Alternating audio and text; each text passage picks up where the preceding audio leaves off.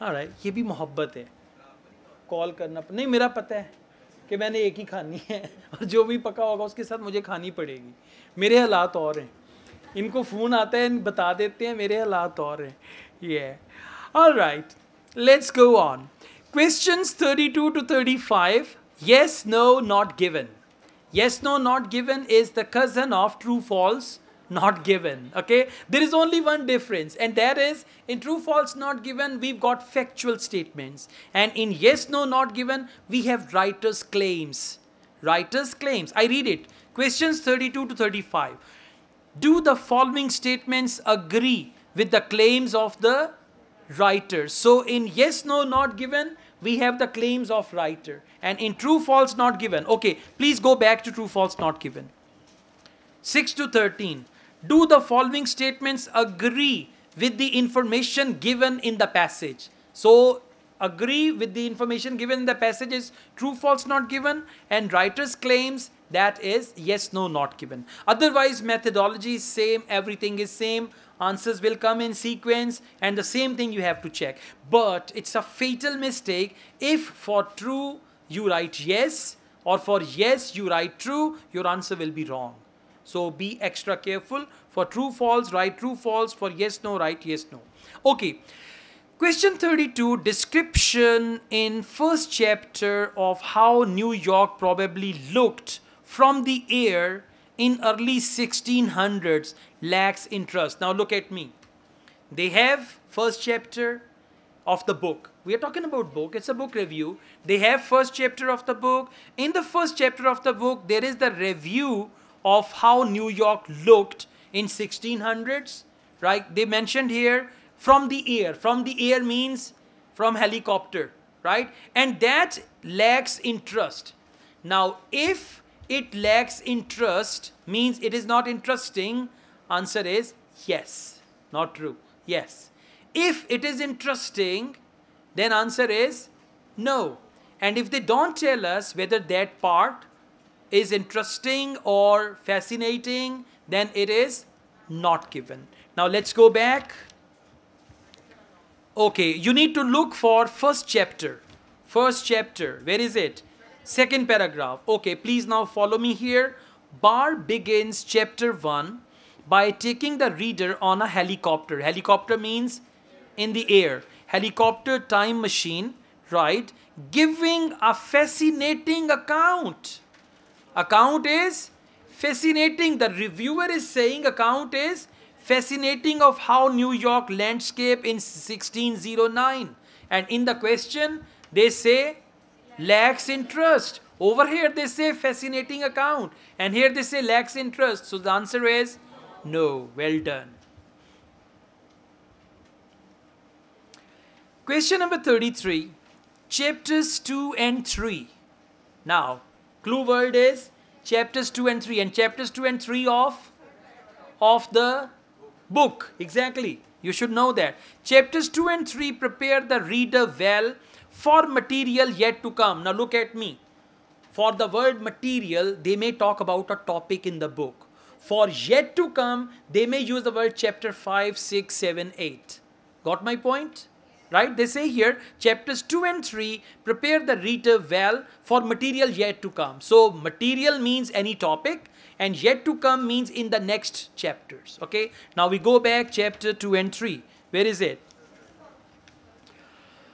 Okay, third paragraph, third line after full stop. Both chapters, and before that, okay, I'm reading it from the beginning. Chapters 2 and 3 take the reader up to the Civil War. Got it? Now come to third line after full stop. Both chapters. What do they mean by both chapters? Chapters 2 and 3. Both chapters are informative and well, re, uh, well researched and set the stage. Now look here. Set the stage means they prepare. You know mahal banana.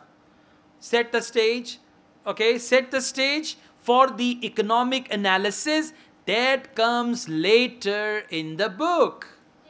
Set the stage for economic analysis. Now, economic analysis is the material, and later in the book means yet to come. So, what is the answer? Yes, Chapters 2 and 3 prepare. And what is the word for prepare? Set the stage. Set the stage means prepare. Okay? Question number 34 Biggest problem for many 19th century New York immigrant neighborhoods was lack of amenities. Now, what are amenities?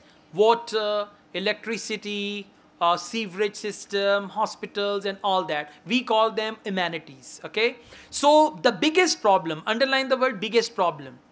For many 19th century New York immigrant neighborhoods, immigrant neighborhoods mean around New York, there were some uh, areas where immigrants started living. Okay. So if they were lacking amenities and that was their biggest problem, answer is yes if their biggest problem was not lack of amenities, some other problem, then answer is no. And if they don't tell us what was their biggest problem, they talk about amenities, but they don't term amenities as the biggest problem, then answer is not given. Now let's go back, amenities and all that. Next page, second page of the passage, first paragraph. Okay, second page, first paragraph. Chapter 4 focuses on immigration and the location of neighborhoods and tenements. In the late 19th century, Barr identifies four primary immigrant enclaves and analyzes their locations in terms of amenities available in the area. Most of these enclaves were located and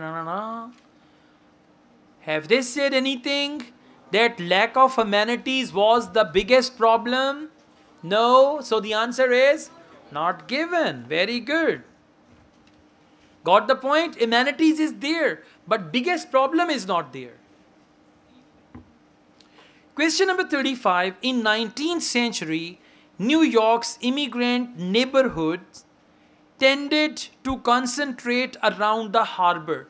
Now, understand the question. 19th century, New York's immigrant neighborhoods. Like they said, people who lived around and they were immigrants. So, immigrant neighborhoods tended to concentrate around the harbor. Now, if they paid attention or they concentrated, means they started living around the harbor. Harbor is where ships are docked, right? Uh, like, you know, uh, we call them cargo ships. Okay. So, if they concentrated around the harbor, answer is Yes. If they paid attention or they started living or if they preferred some other area, not harbor, then answer is no. And if they don't tell us whether the neighborhood, immigrant neighborhoods tended to concentrate around harbor or any other area, they don't mention area, then the answer is not given. So come back. Same paragraph. Most of these enclaves were located. Now, what is most of these enclaves were located means people concentrated, located on the least valuable land between industries located on the waterfront. So, was it harbor? No. Where is it?